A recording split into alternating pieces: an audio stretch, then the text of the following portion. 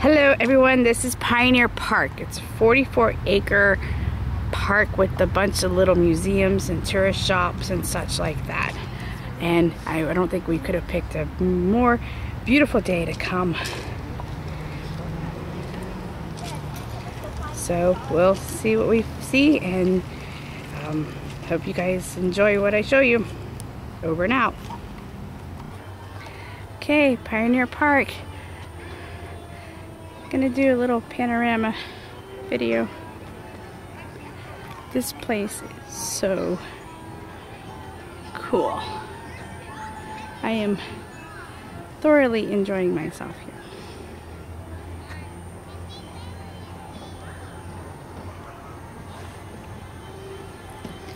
Now I'm going back to the Harding car because that place was really cool.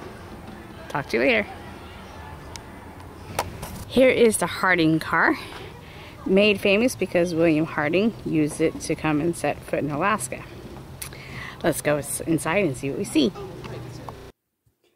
Warren G. Harding was born November 2nd, 1865 and died August 2nd, 1923. I know dates are kind of boring, but this is important because it was July 1923 when he rode the Denali car or the Harding car up to Alaska. Okay, here's a little bit I'm reading from whitehousehistory.org about Warren Harding's trip. In June 1923, Warren Harding embarked on an ambitious journey across the United States. It was called the Voyage of Understanding. Historic trip included the first visit of a sitting president to the U.S. territory of Alaska, as well as the first international visit of an American president to Canada. The voyage also marked the final weeks of Harding's life before because before he can go home back to Washington, he died suddenly from a heart attack August 2nd, 1923 in San Francisco.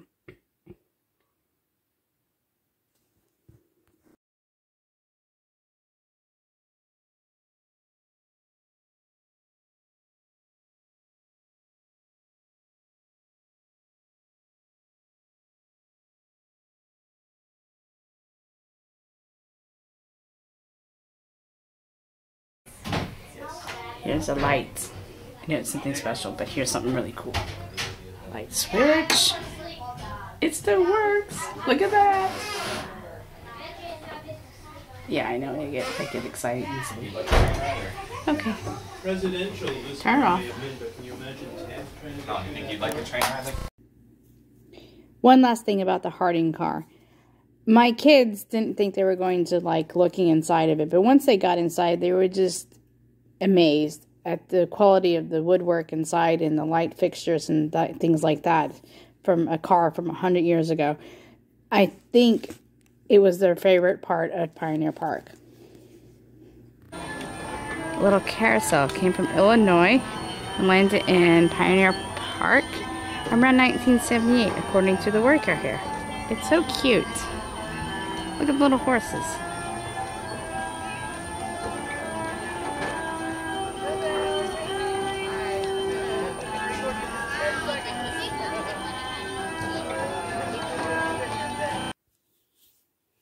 Everyone, just showing you around Pioneer Park. And right here is the SS Nenana. It is a five-deck stern wheel paddle ship. It was built or fabricated in Seattle, but actually put together in Nenana, Alaska, and then it launched in May 1933.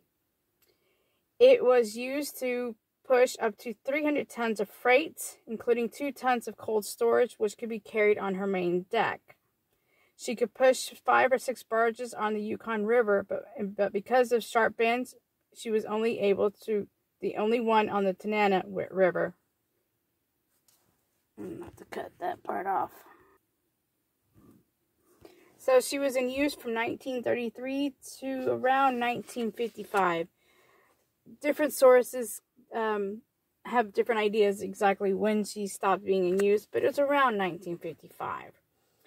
Uh, weather neglect and souvenir hunters damaged the Nenana when she was stuck at the river, not having any, not doing anything. Um, and to protect and preserve her, they decided to move her to a permanent place in 1965. What they did was they ended up digging a big trench or canal or something like that and filled it up with water. That way they can float her up to where she is sitting right now. This is what somebody in the Nenana train station told us how she got to where she is now.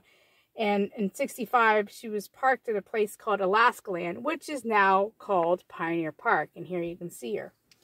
I'm also not sure if you can see um, in the video or a little clip there, there's a little black cleat hitch attached or cemented to the sidewalk there next to a park bench. It's real quick. You you, you have you blink if you and you miss it. I tripped over that and I ended up going head over heels kind of and catching myself on the park bench there and getting a little banged up. I still have the bruise. It's going away, but it was black and blue and purple for a couple of days. I'm all right now, but hey, it's a story to tell. For more information, look up the SS Nenana. I just read you some stuff from Wikipedia. The U.S. National Park Service has some information, and they said it was became a National Historic Landmark back in 1989.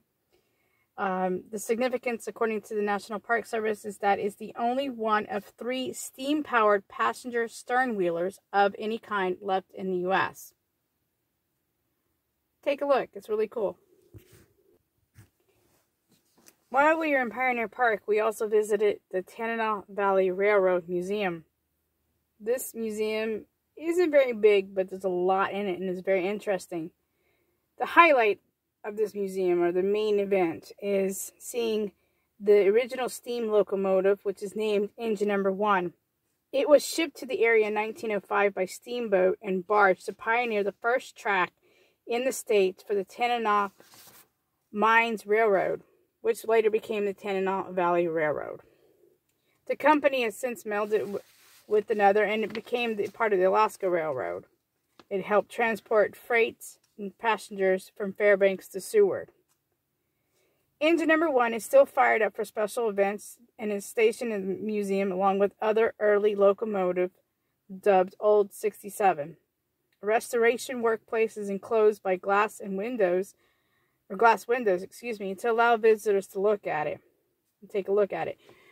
While I was there, I was able to speak with an older gentleman named Richard. He's in his 80s. He knows so much about the history of, of this locomotive and other parts of the museum. You have to listen really carefully because he's very soft spoken, but he was very interesting to talk to. I do recommend that you go and look him up and just listen to the stories he has. He's quite a guy. Hey guys, thanks for watching. As always, if you like the stuff, subscribe. Thanks.